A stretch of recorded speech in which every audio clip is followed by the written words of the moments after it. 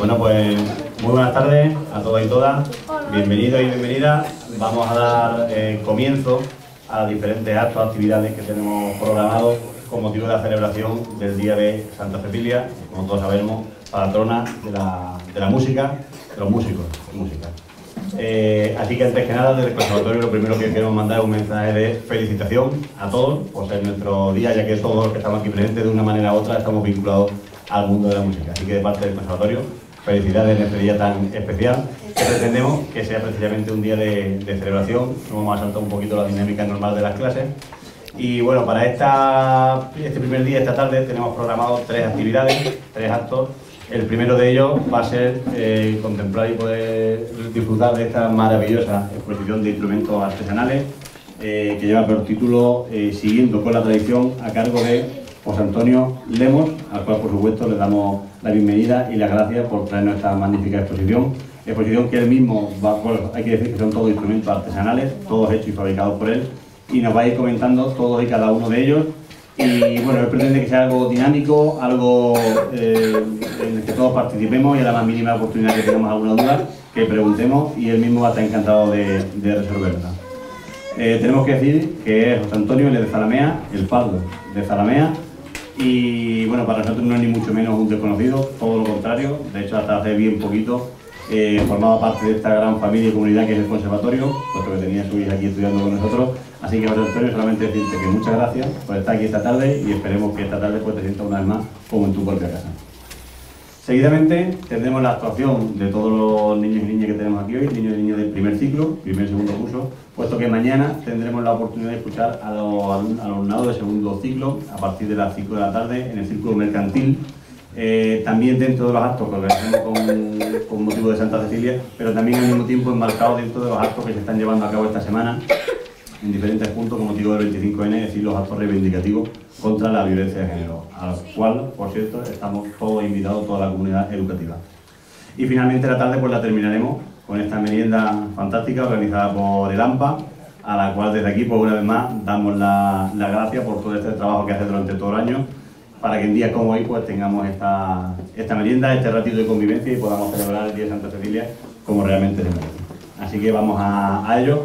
No obstante, antes de, comenzar con todo acto, me gustaría llamar a Julio Gutiérrez por aquí al escenario porque queríamos aprovechar el día de hoy, este acto que estamos de celebración, para anunciar pues, lo que nosotros también es un, acto que también celebramos con mucha alegría, que es la, él es eh, de la asociación APROMIN, eh, miembro del Consejo de Dirección, y está aquí para que podamos plasmar, hoy que estamos aquí la mayoría de la comunidad educativa, los medios eh, de comunicación, plasmar eh, la firma del convenio entre ambas entidades, entre el Conservatorio y la Asociación APROMIN, que tantos años se lleva llevando a cabo, lamentablemente en los últimos años con las medidas COVID no hemos podido realizarla, pero ahora estamos en, eh, en condiciones de poder llevarla a cabo. Y para nosotros es un motivo de, gran alegría porque bueno, gracias a este convenio nos supone poder eh, ir a este centro con todos nuestros niños dos veces al año, ahora una próximamente en Navidad, otra a final de curso y bueno, para nosotros podemos decir claramente que de todas las actividades que hacemos a lo largo del año, eh, podemos decir que esta es, sin duda una de las más bonitas, por lo menos desde el aspecto humano, la que más nos llegan y más nos calan, porque bueno, poder llevar a todos nuestros niños allí y hacer que disfruten de la música y hacer disfrutar a todos los que están allí eh, y ver la cara de felicidad, pues lo cierto es que no, no está pagado. Así que esperemos que este convenio siga teniendo nuevamente mucha larga vida, como siempre se ha hecho y estamos encantados, así que estamos aquí precisamente para formalizar lo que es la firma del convenio. Julio. Gracias. Simplemente decir que Matías Rodríguez, el presidente, tenía pensado venir hoy, pero que finalmente va a resultar imposible. Hace ya 15 años que venimos eh, participando en este, firmando este convenio con el conservatorio. Para nosotros verdaderamente un, un buen momento porque una de las actividades que cuentan con más respaldo por parte de nuestros usuarios, eh, precisamente son estas, las, actividades que hace el conservatorio cuando, cuando hay. Los conciertos son verdaderamente algo muy cercano, ¿eh? que les impacta, que les gusta mucho. Se hacen muchísimas actividades, pero estas siempre las recuerdan con mucho, con mucho agrado, con mucho cariño. Así que nada, felicito a todos los músicos, especialmente a los más pequeños, seguiremos colaborando en lo que, en lo que podamos. Gracias.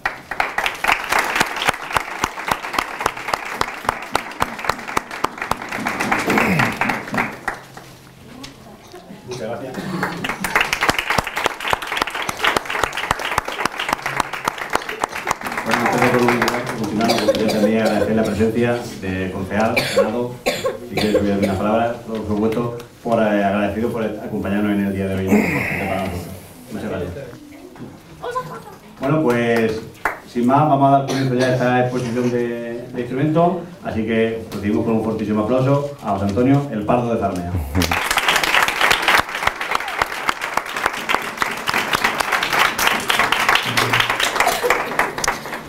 Buenas tardes a todos y a todas, buenas tardes. En primer lugar, disculpen cualquier fallillo que pueda tener. Yo a esto prácticamente pues, estoy empezando un poquito con la exposición y cualquier fallillo, pues discúlpenlo. ¿eh? Muchas gracias.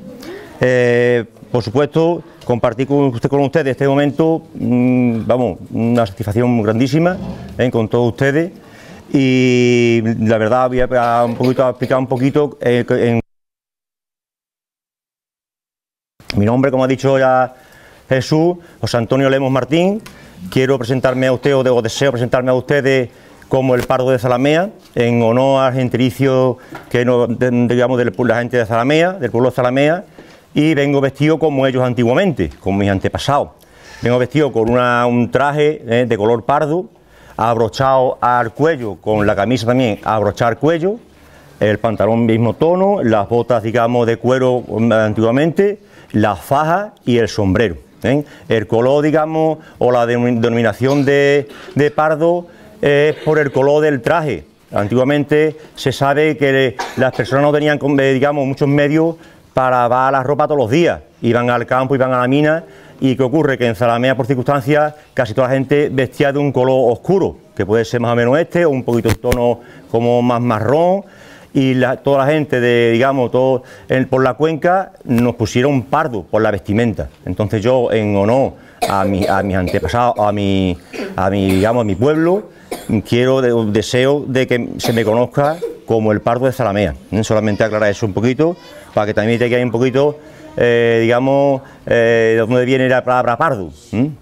Bueno, en primer lugar, por supuesto, agradecer de corazón a la persona promotora de esta gran idea, ¿eh? que salga también ahí adelante, pues fue, digamos, eh, Luis Pastor, Pío, más conocido por todos nosotros, que ha sido el promotor de que yo pueda estar, digamos, ahora aquí entre ustedes, incluso eh, ha, participado, bueno, fue el promotor de que la exposición estuviese en Huelva eh, tres semanas en la, jornada de otoño cultural iberoamericano. Ahí también ha sido un gran, un gran éxito, han pasado muchísimas personas y la verdad que muchísimas gracias ¿eh? a Pío, porque la verdad que, que, vamos, encantado, agradecido por supuesto, y él también sabe por dónde va el asunto, un gran conocedor de, los instrumentos y también está haciendo mucha labor por el tema de...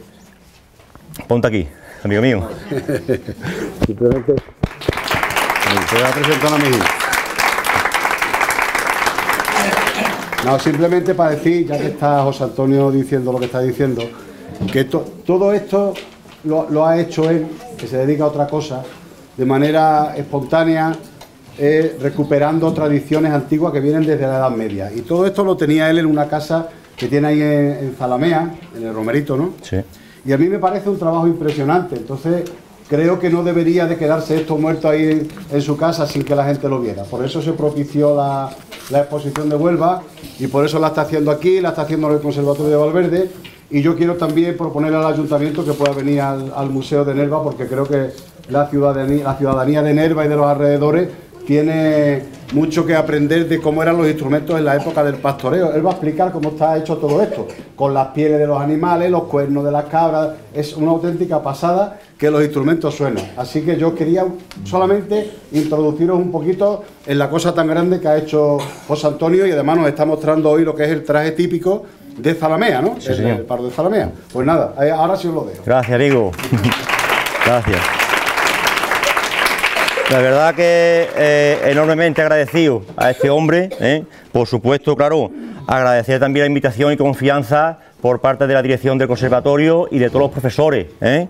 porque yo aquí lo que quiero transmitir es un poquito, digamos, de, algo de todos ustedes, algo, digamos, también de nuestros antepasados, de nuestra cultura y bueno, de nuestra tierra, de nuestros pueblos, que en definitiva no es más que la tradición. Es decir, que la palabra tradición está un poco como olvidada.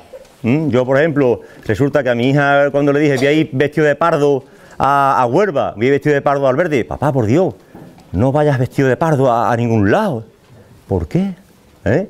Sí, es, una, mi identidad. Entonces, eh, no tengamos miedo. Está un poco, y a los chiquillos quiero inculcar un poquito también nuestras raíces. Nerva es un pueblo espectacular. Nerva, digamos, lo que ha dicho Pío, tiene que venir la exposición aquí y ya no lo hago por mí. Es que mm, lo, lo acabo de comentar. Lo que hay aquí es, es un poquito de todos ustedes. Porque mm, quién sabe si alguien de vuestros abuelos o vuestros padres no fabricó en su día otro instrumento como esto. Entonces yo me he trasladado a esa, a esa, a esa época, que verdaderamente era preciosa. ¿eh? Entonces son así matices que quiero dar para no, digamos, eh, enrearme mucho. ¿eh? Entonces, el legado también que, por ejemplo, nos han dejado ellos, importantísimo, pero ha sido en lo personal, lo musical y lo tradicional, como acabo de decir. Y el cariño, eso no se puede olvidar nunca. Entonces, yo, esto estos instrumentos eh, son como hijos míos. ¿eh? Son la verdad que yo he tenido la mente, la, idea en la mente y mis manos casi sin querer lo han ido fabricando. Y que cuando yo he terminado un instrumento, que algunos me he llevado hasta un año para terminarlo, entonces, ah, gracias a Dios, eh, la verdad que estoy contentísimo. Ahora vamos a explicar algunas cosillas. Y bueno, por eso, digamos que eh, ¿Por qué decido emprender esta andadura? Pues por mismo eso, para que, digamos, intentar recuperar y conservar lo que nos dejaron nuestros antepasados. Que eso para mí tiene una importancia increíble. Entonces, porque mm, si no, no hablamos de lo, de lo pasado, ¿cómo vamos a hablar del presente si no sabemos dónde venimos? ¿Comprende? Entonces, yo me gusta, ¿qué ocurre? Mm, eh, eh, me gusta, digamos, eh, que para ustedes los que si quieren lo pueden tocar, ¿eh? porque ahora mismo mm, aquí instrumentos que son únicos. ¿eh? Por ejemplo, aunque después toque algo, para que vean, este instrumento está datado del siglo X o siglo XI. Es decir, que no estamos hablando que fue ayer. Estos son pitos de cabrero. ¿Qué ocurre? Eh, lo primitivo era un silbato, se utilizaba para comunicarse entre ellos o ahuyentar a los lobos, a los zorros, a, las alimañas. Es que hay mucha gente y está difícil acceso por allí, ¿vale? Ah, sí, claro, claro. que arriba hay sitio, ¿vale? Sí, sí, claro. Entonces, hombre, claro. Perfecto. Hola. Buenas. ¿Alguien más?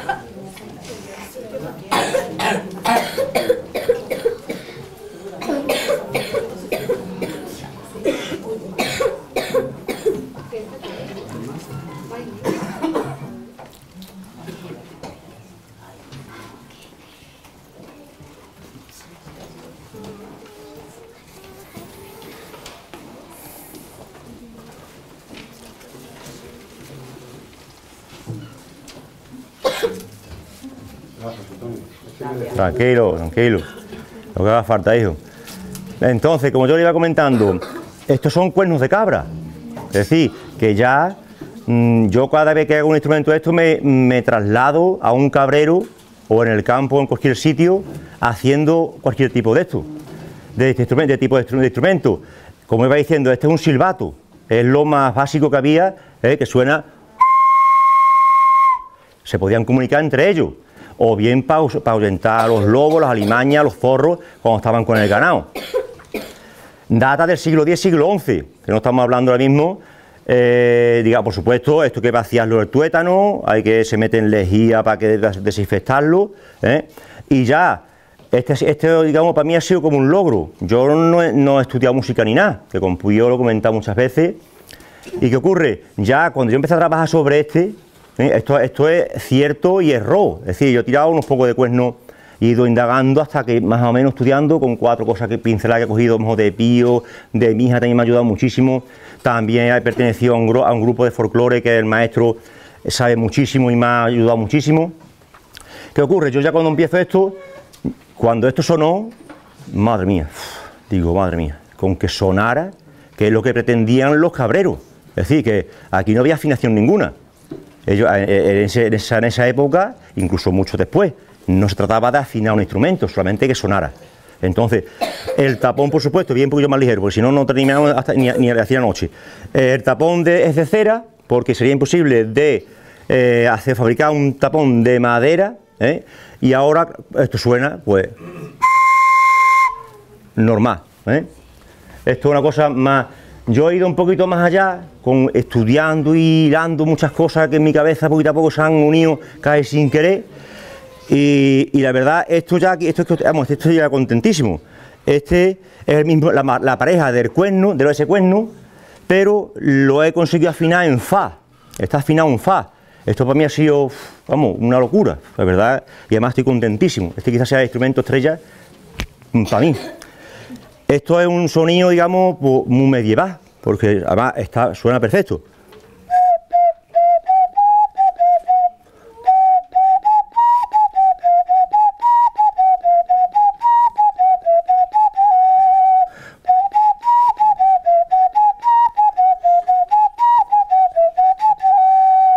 Es decir, que da cinco notas y, está afinado. Es decir, cada, cada agujero da una nota diferente. Esto, digamos, también mm, ha sido cierto y error. Esto he estropeado también unos pocos, pero lo he conseguido, de verdad, y estoy contento. Y bueno, más o menos lo han escuchado ya un poquito, vamos un poquito más ligero, porque yo sé que la cosa está un poquillo apretadilla. Voy a poner por aquí y por ejemplo, bueno, si tienen alguna pregunta y vamos más, lo dicen, ¿eh? Eh, voy más ligerillo. Digamos, esto, este, este que está aquí, este, este pandero, un pandero cuadrado de Peñaparda, de la parte de Salamanca y por ahí por Zamora, también por Zamora. Si lo pueden ver, que lo vamos a coger, porque así lo explico mejor, más cerquita. Se toca con, con el- con el palo, perdón. ¿Eh? Entonces va forrado por las dos caras, en las maderas de haya, se toca con el, con el, con el palo. Eh, eh, se coge así, las mujeres lo tocan en el cuadril, así, con un soporte, y lo van tocando tanto en la, piel como en el, en el aro. ¿eh? Este, este pandero, digamos, eh, podemos, puedo decir que ahora mismo este que tenemos aquí es un pandero de encina sola y trasciende de ese pandero por las rutas de la plata y cuando vinieron digamos eh, mucha gente que trabaja en las minas y demás eh, aquí por la parte de encina sola que es un pueblo muy rico en folclore este pandero solamente se toca cuando se muere un niño y muy bebé muy, muy- muy- niño muy niño en señal de luto las medidas pues, son 25 por 25, ese tiene 40 por 40, un poquito más rápido para que vean lo, todo todo todos los materiales son de madera de haya y la piel de cabra. Este lo voy a dejar para el final, porque ese también eh, voy más ligerillo. Cualquier pregunta, Pío, pregunta o Jesús, ¿eh? Que ellos tengan claro que todos los retales estos que veis aquí encima, estos donde están puestos los instrumentos, esto es piel de animal, piel de qué, de cabra. De cabra. Esto es el pellejo, la piel de una cabra. Y es lo mismo que tiene aquí el pandero. Correcto. ¿eh? O sea, esto es piel de animal. Tenemos que transportarnos hace 10 siglos cuando no había ni boli, ni internet, ni coche, ni electricidad, ¿vale? Para que nos situemos. Entonces, ¿cómo se hacían los tambores? Con cuernos, con, con piel de cabra. Y cuanto más tenso, pues más agudo suena.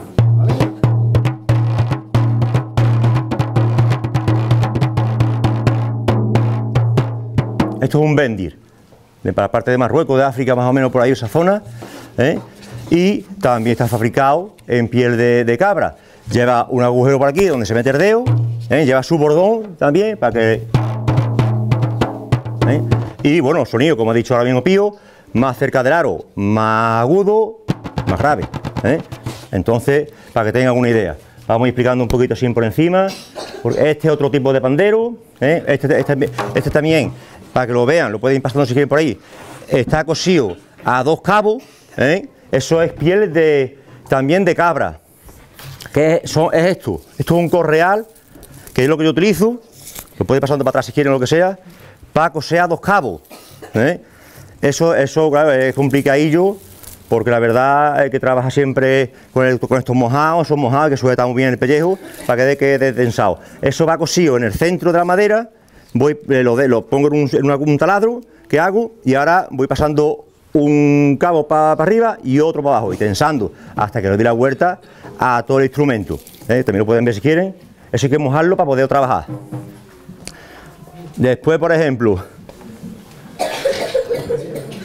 bueno, pueden pasar, vayan pasando por ahí los instrumentos porque ah, eh, tienen la oportunidad también de tocar, digamos, instrumentos que son inusuales y poco, y poco, y poco vistos.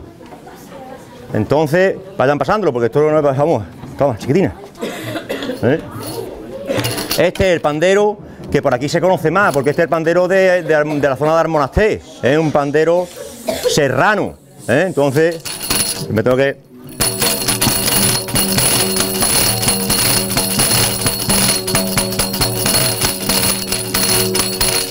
lo tocan en las cruces, ¿eh? son famosísimas. Yo también he querido traer un poquito de representación de otros pueblos, ¿eh? para que veáis, la verdad que también está cosido a dos cabos, como ese que pasa por ahí el, celeste, ¿eh? para que también se vea como antiguamente se cosían, lleva un, digamos, aquí una mordura que ya es de, tela, que es lo que ellos le ponen, también lleva, que lo tengo que intentar de conseguir, aquí lleva unos madroños, un triángulo en verde, en rojo, demás, que también tengo que conseguirlo, a ver si lo consigo y me lo hacen para que también puedan verlo. ¿eh? Pueden pasarlo si quieren y lo pueden ver. También.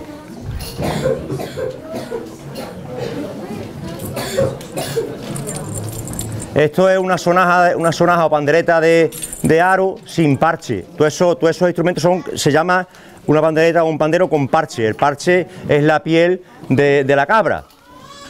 Esta es una pandereta que también está fabricada en Haya, esta se la hice yo a mi hija y ahora la voy a pasar para que vean porque esto, la verdad, es preciosa, ¿eh? no porque yo la haya hecho ni nada, pero los motivos que tienen están también hechos con el correa que mm, he pasado por ahí antes, de, piel de cabra.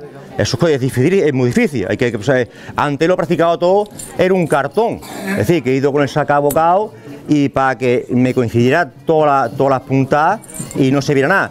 Es totalmente simétrica ¿eh? y va, a todos los colores, pues digamos, y por aquí abajo por el mango, lo mismo se ve por, por, por para abajo que por fuera y por dentro y por fuera. ¿eh? Esta veanla si quieren y la para.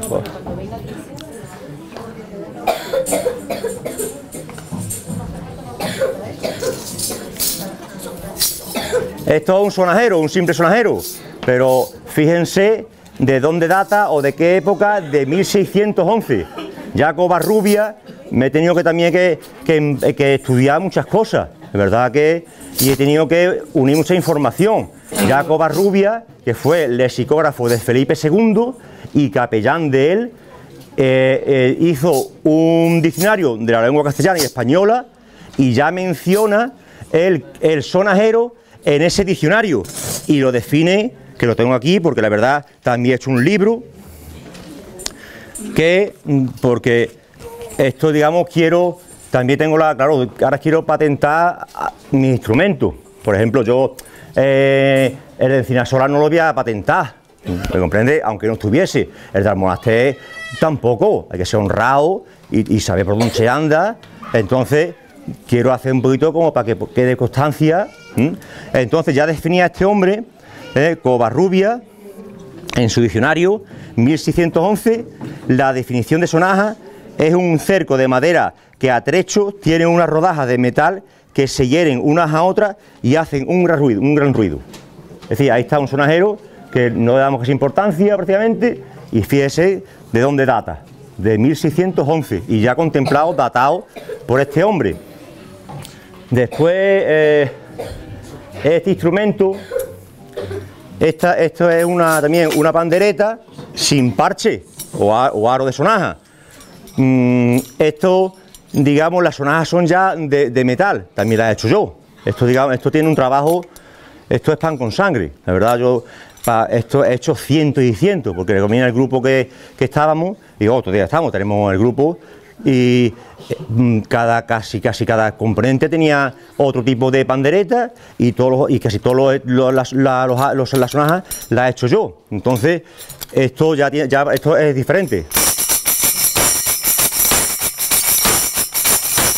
decir que el sonido ¿eh? es más nuestro más nuestro está hecha de pita la pita saben lo que es la pita es un árbol digamos bueno está por ahí en los, caminos tiene unas hojas muy grandes con un pincho y, da un árbol muy alto. Este, este, este instrumento, que, es una, tambora, este, este digamos va en la parte, una rodaja de aquí, de este, de este trozo. Aquí mismo se va a quedar. Que este instrumento a mí también estoy enamorado de él, porque esto ahora mismo, ¿eh? fíjense, los colores naturales que, ha sacado la pita.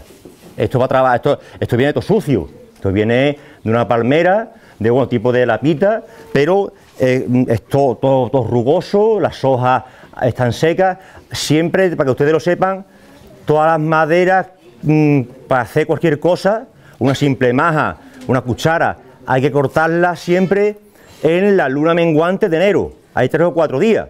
Entonces, esta, esta, esta pita está cortada en estos tres o cuatro días, de luna menguante en enero. Ahora hay que meterla en un sitio a la sombra, meter una bolsa de plástico y que no le dé aire, porque si no se rajaría.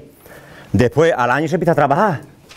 Esto, esto es un tronco, aquí digamos todo macizo, hay que meter la motosierra porque no hay otra forma haciendo unos cortes y ahora hay que ir rebanando todo eso. Después se prepara un poquito y ahora hay que encolarlo. Esto se encola porque la madera de pita es un poquito mm, endeble, es un poquito mm, así digamos más, más frágil, se encola y ya se endurece. ¿eh? Esto ahora mismo está un poquito destensado porque. Esto se puede tocar, vamos, cualquier grupo lo puede tocar perfectamente, o con baqueta, en la mano, incluso la flauta yo también he tocado entre la, sentado y entre las piernas, entonces, mm, vamos, que tiene muchas utilidades. Esto ahora mismo puede ser, bueno, casi todos los instrumentos están aquí, eh, digamos los que yo he fabricado mayormente, eh, son únicos. Es decir, que panderos de Cinasola hay más, panderos de, mm, de estos de Zamora también, pero hay algunos que son instrumentos únicos, por ejemplo como este, ahora mismo, mm, gracias a Dios, pues no habrá ninguno. Entonces, los, pitos de cabrero también. ¿eh? Ahora otra cosilla por aquí. Eh, este, eh, bueno, pues fíjense, este instrumento data del medievo, siglo XIV, siglo XV aproximadamente, más o menos, y ya está contemplado en las cánticas de Alfonso X el Sabio. Ya Pío, ahora estamos incluso, que quiero trabajar con él un poquillo, queremos hacer un arbogón, que, es prácticamente igual, pero más largo. Entonces, quiero que me ayude para recopilar información y claro, él sabe muchísimo y a ver si más o menos pase otro. Este precisamente es de la mm, Sierra Norte de, Cádiz, del Gastor. El Gastor es un, un pueblo, allí se toca. Entonces, y ya está contemplado en, las cánticas de Alfonso X el Sabio. Eh, esto, perdónenme un poquillo, porque al principio a lo mejor no va a sonar. Tengo que hacer un par de pruebas o tres y voy a intentar por lo menos de que suene algo y pueda hacerle algo. ¿eh? Bueno, tengo que decir que el cuerpo ¿eh? lo he yo un poquito mejorado, llevo una caña con un corte, que es la lengüeta, y la respiración es circular, eso es dificilísimo. Así que poco, poca gente llega a controlar el instrumento bien, bien, bien, bien. ¿eh? Se puede hacer, yo estoy empezando, la verdad que.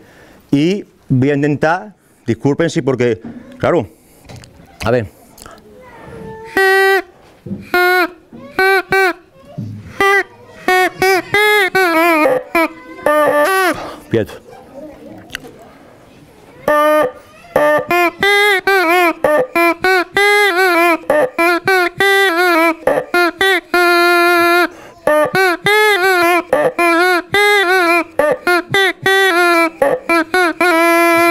Es muy difícil. Hay, que, hacer una ligadura. ¿eh? Entonces, la respiración hay que cogerla por la nariz y expulsarlo por la boca. Estoy en ello.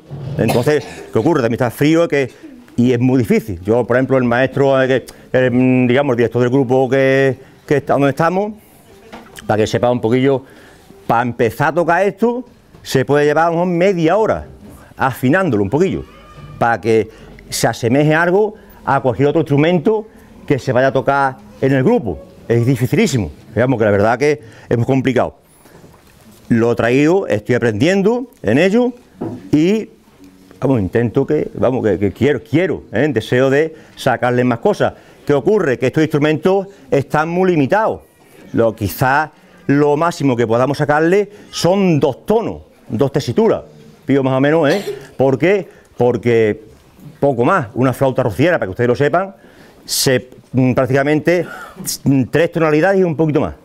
Entonces, esto, a ver si soy capaz de, investigar un poquito y a, ver cuántas más o menos tesitura o, tono puede dar. Así que pues, también lo pueden pasar si quieren, veanlo. Es muy curioso. Un de toro. Eso es toro. Eso por ahí. Eh, eh, esto es un pellejo de esto es un pellejo de cabra, ¿eh? lo de mí ahí. Y para que tengan una idea, me he traído aquí pues dos o tres boquillas.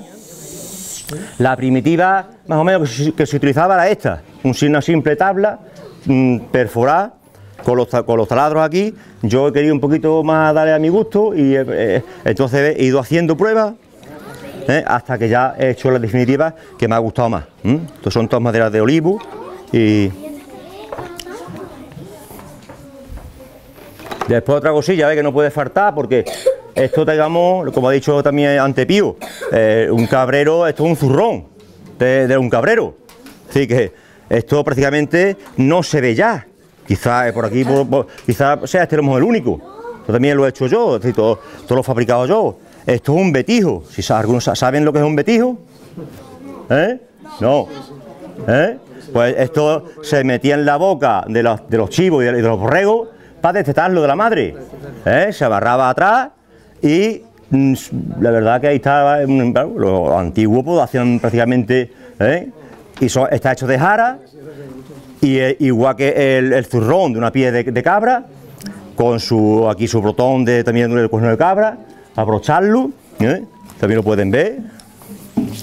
Ve por ahí cosas, eh, por ahí también. ¿eh? Y, ah, bueno, eh, esto también es importantísimo.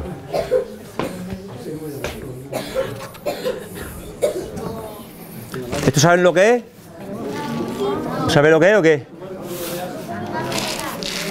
Una, una, ¿qué? ¿Una qué? Esto es, una calabaza. ¿eh? Una calabaza es un poco eh, atípica, porque normalmente suele ser de, cuello y aquí más gorda. ¿eh? Esta ha sido un ejemplar un poco único y yo he hecho, digamos, una calabaza de agua, un palo de agua, de lluvia. Esto lleva dentro semillas de retama, que son estas.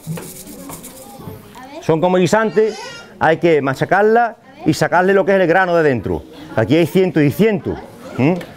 Entonces simula lo que es eh, eh, el agua. ¿eh? Voy a hacerlo un poquito, para que lo sepan, para que lo escuchen un poquito.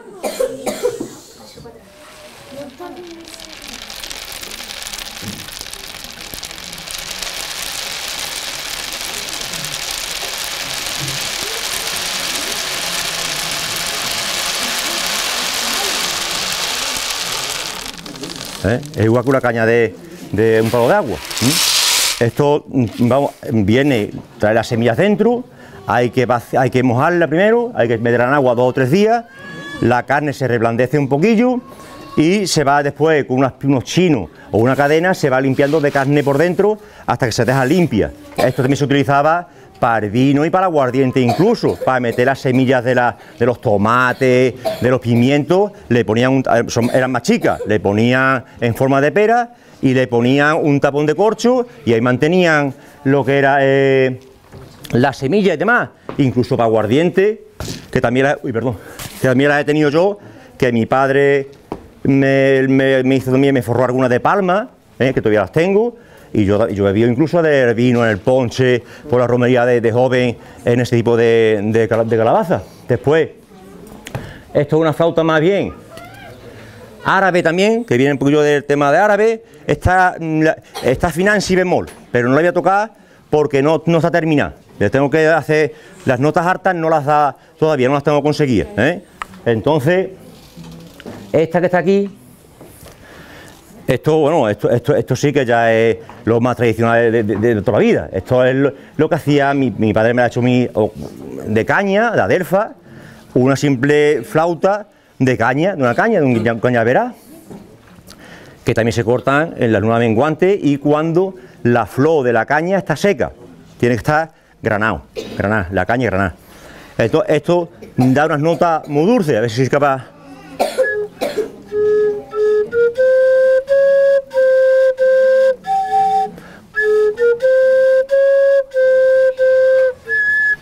Está, está fría, está...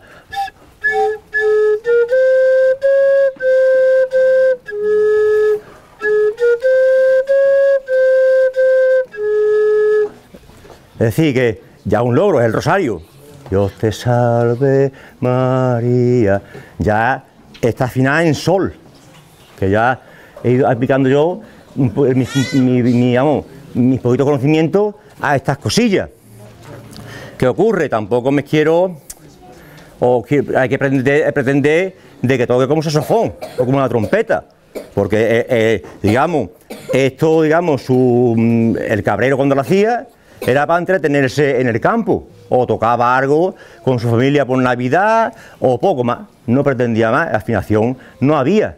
Entonces, tampoco quiero yo que, porque esto a lo mejor puede dar un tono, o poco más, poco más. Entonces, que ya con que suene también es un logro, y de, y de sus cuatro o cinco notas. Y yo creo que está ya todo, más o menos. ¿Sí? los materiales son de haya y son todo de piel de cuero, de cabra, como he dicho antes, y cualquier preguntilla que tengan o lo que sea, pues si podemos ayudarles, o curiosidad que tengan también de algún instrumento. Si quieren coger alguno, lo pueden tocar. Bueno, voy a tocar yo un poquito. Ah, ah, bueno, se me olvida el más importante. Madre mía. Este está aquí. Este, esto es un pandero, le he puesto pandero pardo. Es decir, que he hecho un poquito de mezcla entre el pandero de Encina Sola con el pandero de Peñaparda. ¿Qué ocurre? La medida por 40 por 40 y forrado solamente por un lado como eh, el de, el mm, Encina Sola. Lo significativo es que en la cenefa ¿eh? he querido, digamos, eh, escribir o reflejar mi vida, pero Mm, también he escrito la vuestra, la de ustedes. Es un poquillo, digamos, eh, esto me ha, dado de trabajo por lo menos un año, no el pandero en sí, sino la idea y querer reflejar mi vida, pero la vida de todos ustedes. Y voy a explicar un poquillo muy rápido. ¿eh? Digamos, eh, en esta son cuatro cenefas. Está cosido a dos cabos con hilo encerado, porque no he podido coserlo con el correa de cabra porque se me rajaba la madera. Esto me ha sido, eh, he tenido que probarlo antes en un cartón, para las puntas y demás, un año y medio casi me he llevado con esto. Y mayormente por la idea.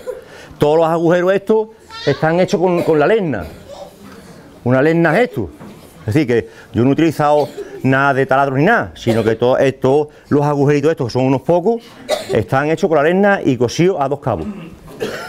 Aquí he explicado en vida, mi historia, Fíjense, eh, este símbolo es el símbolo del nacimiento, de la vida. ¿eh? Todos hemos nacido, ¿eh? gracias a Dios, hay que dar gracias a Dios y a la vida. He reflejado, ¿sabe alguien qué, significa eso, ese símbolo? Este es el símbolo del cristianismo. Es decir, antiguamente un cristiano llegaba a un pueblo, a un sitio donde sea, y yo me ponía a hablar con este hombre y digamos, con el palo o con el pie en la tierra hacía como un medio arco. Si el, otro hombre me respondía y lo hacía al revés, es cristiano, puedo hablar con él.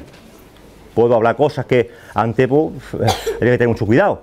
Y entonces es el símbolo del cristianismo. Lo he hecho todo simétrico. En todo, aquí casi todo, aunque no importa otra cosa, es, la, es mi religión, pero podría poner aquí cualquier otro símbolo de otra religión. ¿eh? Que damos gracias a Dios, hoy día no importa, al revés. ¿Qué ocurre? Cualquier persona que nace, lo hace cristiano o de cualquier otra religión, el sustento siempre ha sido el trigo, ¿eh? o cualquier otro cereal. Aquí está, aquí está reflejado lo que es, ha sido la comida de prácticamente todos nosotros. ¿eh? En esta cenefa, aquí quería hacer un homenaje a nuestros antepasados, a mis padres, mis abuelos, a sus padres, a sus abuelos, a, a nuestros ancestros. ¿Qué ocurre? Este símbolo aquí, bien un poquito más ligero, pues es el sol. Ellos se, se, guiaban por el sol. Ellos se levantaban y cuando oscurecía eran prácticamente como animales. ¿eh? En Zalamea, ¿eh? que he reflejado aquí, los dólmenes, cualquier persona mínimo un amparo. Ellos pensaban, cuando ya un poquito, un, cobijo. Y he reflejado, digamos, algo muy significativo de Zalamea, lo hay por más sitios, los dólmenes, ¿eh? Valverde también Valverde, Triquero, Bea, es más zona de... Y estos dos símbolos que están aquí, ¿eh? mm, son, están contemplados en las piedras rupestres que hay en Zalamea. Hay dos piedras rupestres, ahora se han encontrado un par de ellas más de 1700 años, 1500 años antes de Cristo, del megalítico.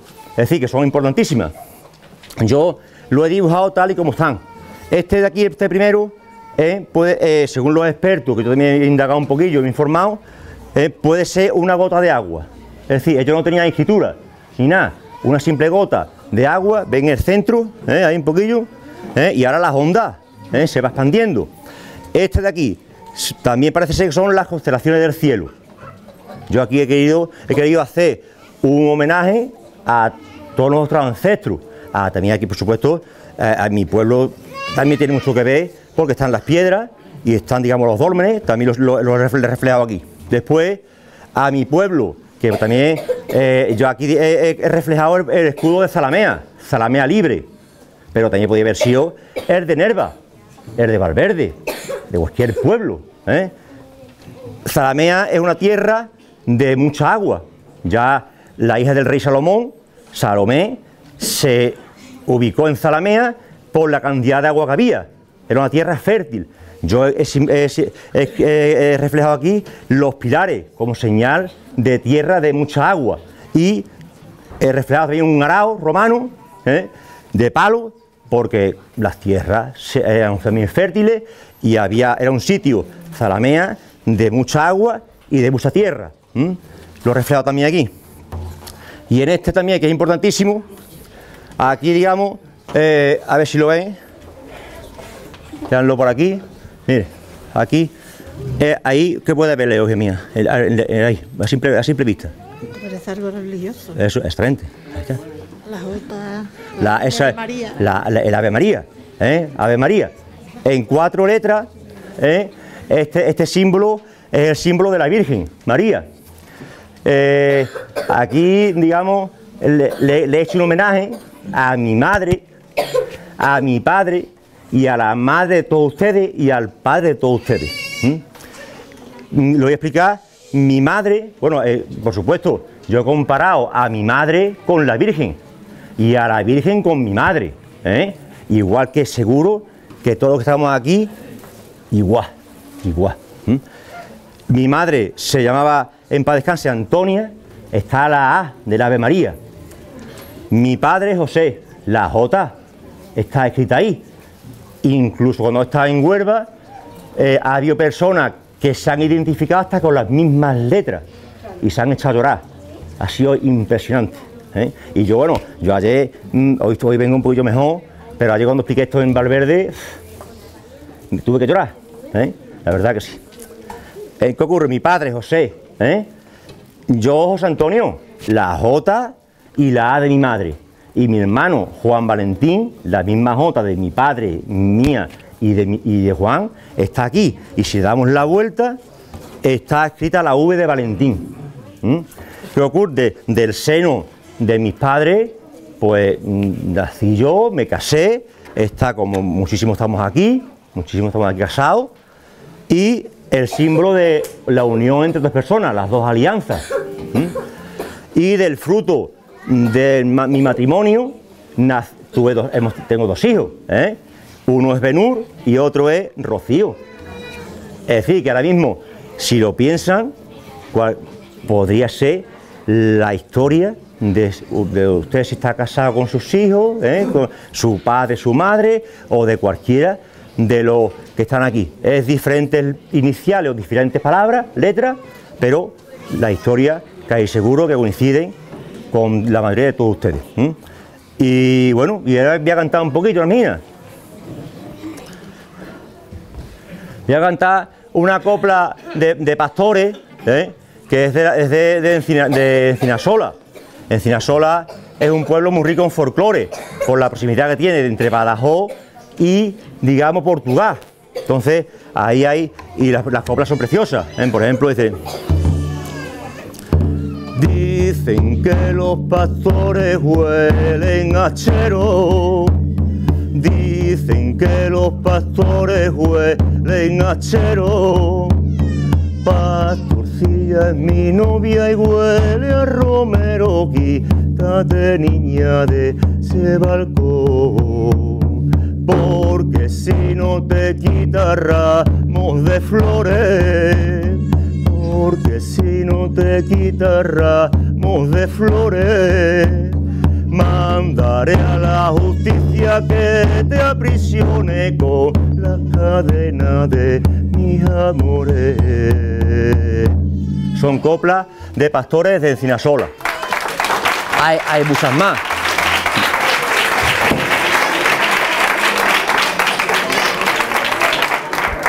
Bueno, muchísimas gracias. Muchísimas gracias.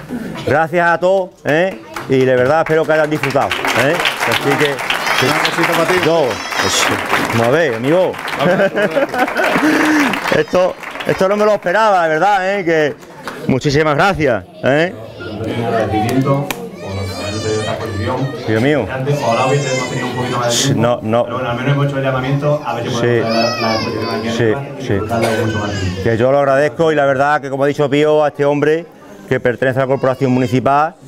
Yo la verdad que yo eh, saben de más, la exposición no es, vamos, que es digamos, gratuita, es decir, que yo de momento, como este hombre también sabe, hay que darse a conocer, ¿eh? y es un patrimonio.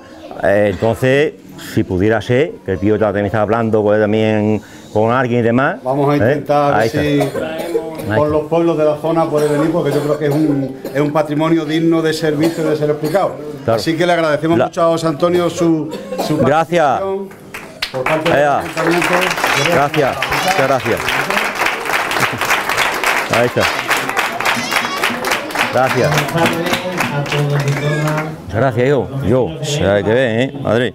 Con los aledaños que tienen a sus hijos estudiando aquí en el Conservatorio de Música es una actividad extraescolar educativa de las mejores que pueden optar los más pequeños y nos enorgullece estar invitados esta tarde aquí ¿no? Eh, y a poder acompañar a, su director, Julio, tanto a Pío, como escuchar la explicación de José Antonio, y también invitarlo a, y de hecho lo vamos a hacer, Gracias. la corporación municipal para que no solo sean conocedores los asistentes de esta tarde, sino que también puedan ser conocedores los vecinos y vecinas de Nerva.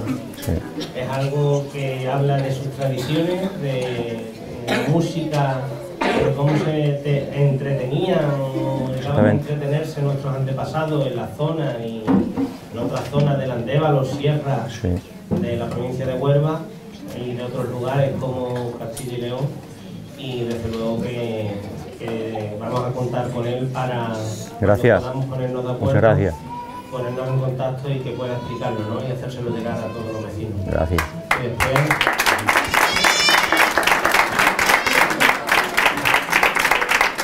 Muchas gracias a los asistentes y yo creo que los más pequeños nos deleitarán ahora con, con su música. Muchas gracias. Gracias.